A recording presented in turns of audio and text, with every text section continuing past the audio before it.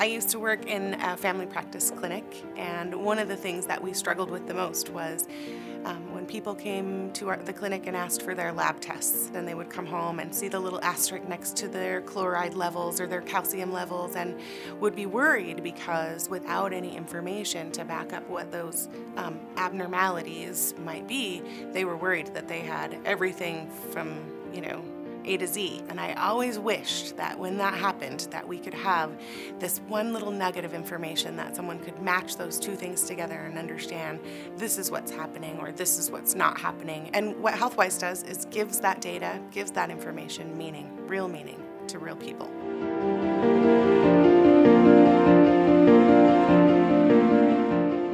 Sometimes accreditation is around patient satisfaction, other times it's around clinical outcomes. Our approach to certification and accreditation is to make sure these things are done in a meaningful way so that the technology that's being accredited has the ability to then serve information to patients in a useful way. This context sharing is the first time an electronic health record has the ability to, to look at context and retrieve meaningful information from an expert system. In this case, it's HealthWise, patient-specific education materials, that is the expert system. We've been supporting quality measures and accreditation long before meaningful use or quality measures were even in existence. So we recognize that different types of organizations are going to have different types of accreditation that they're trying to meet. So we are very comfortable in this realm of supporting our clients in meeting their accreditation goals. If